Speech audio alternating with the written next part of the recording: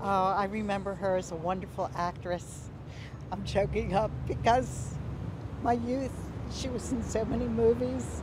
Made me so happy to watch her movies. I just loved her so much. So sad today.